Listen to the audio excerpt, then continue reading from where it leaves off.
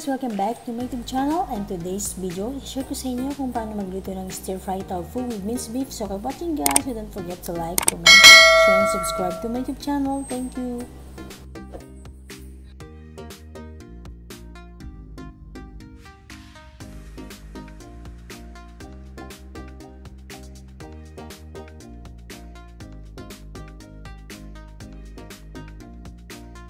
So, first guys, kailangan natin ng 2 packs of tofu or fresh bean curd guys.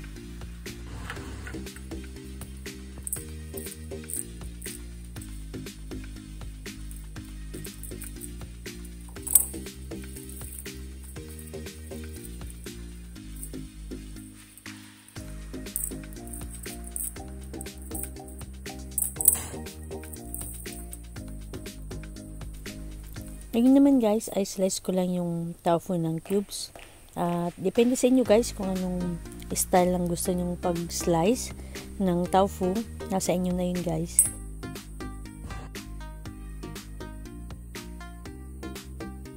Slice lang natin ng 3 slice guys. Then, saka natin slice ng cubes. Hindi na to guys, madali lang itong lutuin. Lalo pag busy kayo sa work nyo at wala na kayong maisip na lutuin ito yung pinakadadas na lutuin guys. Uh, at saka healthy pa guys. Then after my slice guys ilipat lang natin sa plate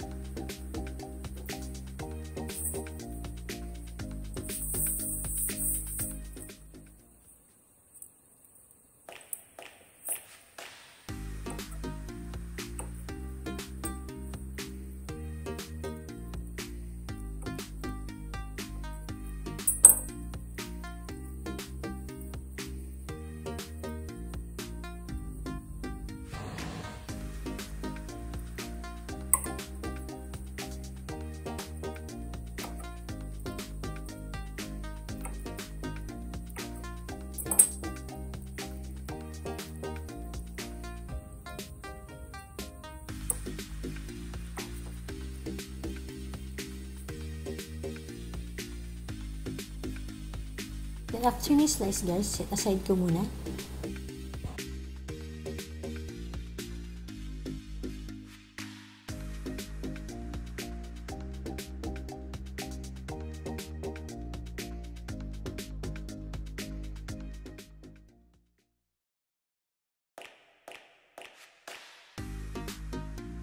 So next guys, magit lang tayo ng pan.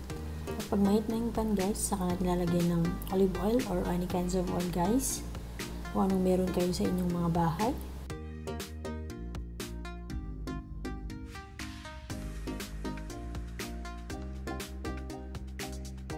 Pag mahit na yung pan guys, saka natin lalagay yung sliced tofu or bean curd.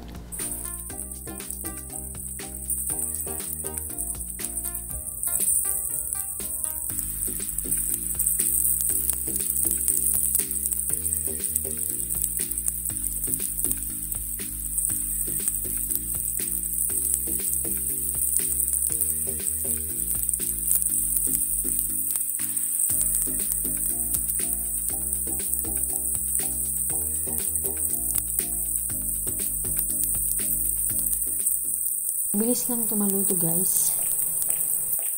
Dahil pandemic guys at walang mabili sa market so naisipan kong mag-fry ng tofu para ma-vlog naman guys kahit simple lang na food para sa nurse at driver.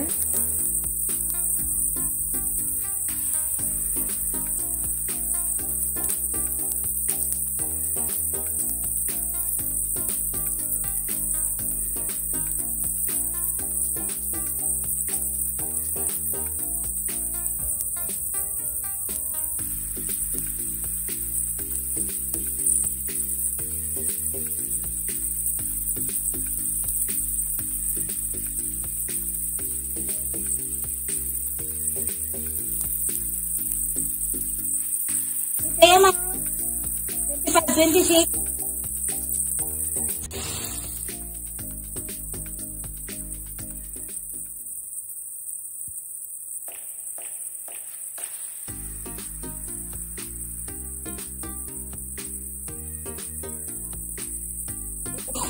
Pag nag golden brown na guys, saka natin yung isa-isa yung balik na rin.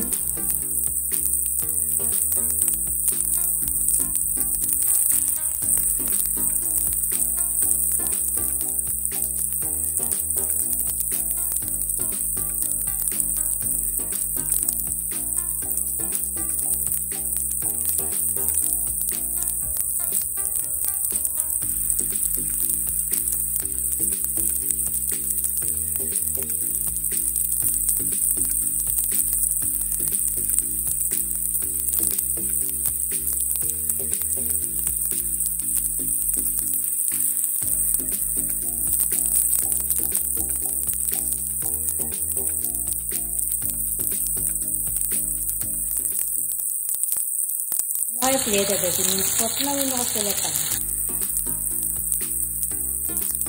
Ano yan, yung tau ko eh. Mga gatas lagi.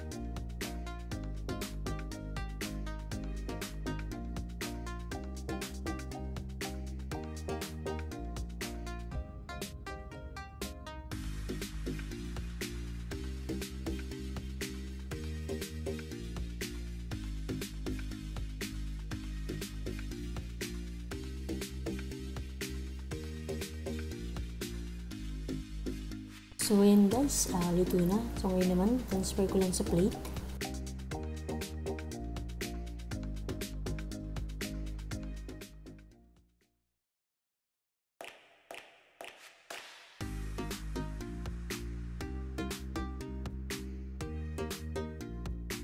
And guys, uh, nalipat na sa plate. So, ngayon naman, isa-set aside ko muna.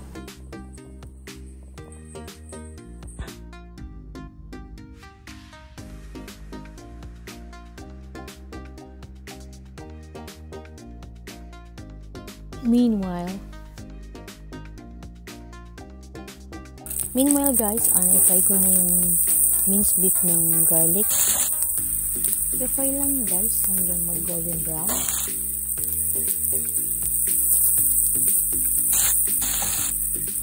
Pag nag-golden brown na guys, saka natin ilalagay ang tofu. I-fry ko lang ng 2 minutes. Then, saka ko ilalagay yung sauce guys hanggang mag-thicken.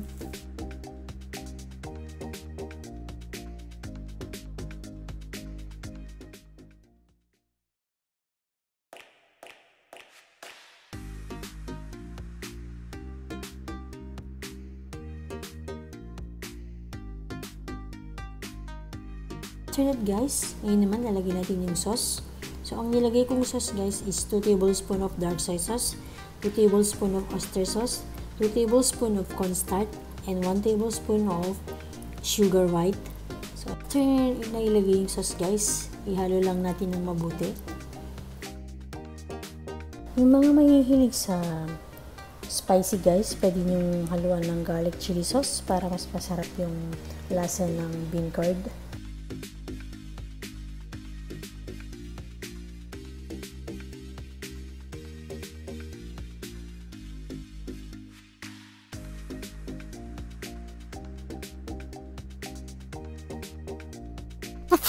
Inches later, So yan guys, luto na at nalipat ko na sa serving plate. So, ngayon, ready to serve na. At sana nagustuhan niyo ako yung vlog for today.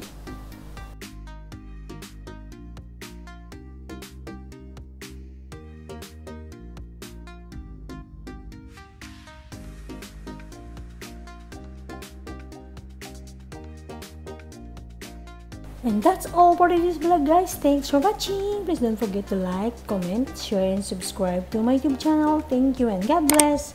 See you on my next vlog. Bye!